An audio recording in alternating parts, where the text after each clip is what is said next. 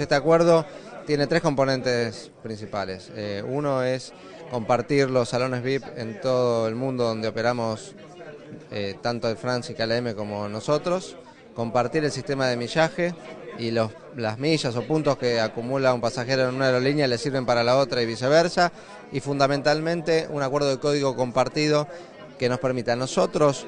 vender eh, pasajes más allá de los destinos donde llegamos, transportando pasajeros con los aviones de France y KLM y viceversa. A France y KLM puede transportar y vender pasajes en nuestros aviones a destinos a donde llegamos nosotros, fundamentalmente al interior del país y a la región sudamericana. Nosotros vamos a vender con nuestro código boletos más allá de Madrid, Barcelona o Roma donde llegamos, sino que desde esas ciudades vamos a poder distribuir a otros destinos de Europa donde llegue estas dos empresas que se han fusionado tan prestigiosas con tanta trayectoria y que para nosotros es muy importante que hayan confiado en que podamos ser transportadoras de sus pasajeros, porque quiere decir